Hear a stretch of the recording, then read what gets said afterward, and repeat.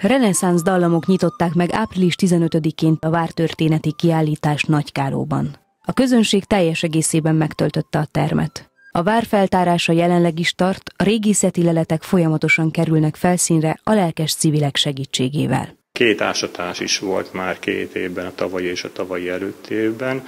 Most ennek az ásatásnak az volt az érdekesség, hogy diákok voltak ténylegesen bevonva, a Korányi Gimnáziumnak és a Budai, Budainak a diákjai voltak bevonva, nagy örömmel turkáltak, fémkeresőztek, lapátoltak, úgyhogy minden, minden segítséget megadtak benne. Ezekből a tárgyakból is nagyon sok van kiállítva itt a kiállítóhelyünkön, részben a mi tárgyaink, az alapítvány tárgyai, és részben pedig a Jós András Múzeumtól kaptuk meg azokat a tárgyakat, amiket itt találtak a régészeti feltáráskor. A Kálói vár 1570 és 1573 között épült, és 1574-ben nyilvánították végvárrá. 1704-ben a várat lebontották. Sok írásos jegyzet maradt a várról, mégis átfogó képet nehéz megrajzolni róla.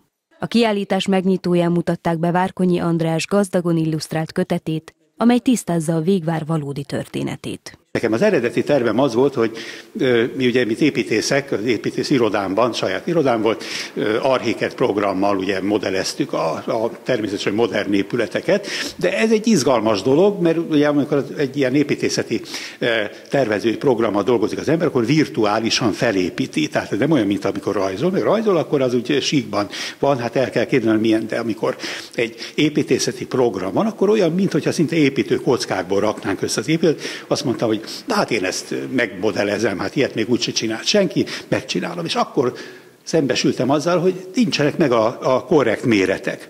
Na, elkezdtem kutatni, különböző levéltárakba, a, a, a hat történeti múzeumban megkerestem a, legaktuál, a legautentikusabb szemét, dr. Domokos Györgyöt, aki ezzel a korszakkal és ennek a, ennek a korszaknak a váraival foglalkozik. Ő egy nagyon neves hat történész, és hát ő segítséget is kértem, és hát egy elég nagy anyagot szedtem össze. A Kálói vár történetét bemutató tárlat a Ratkó József Városi Könyvtár szomszédságában tekinthető meg.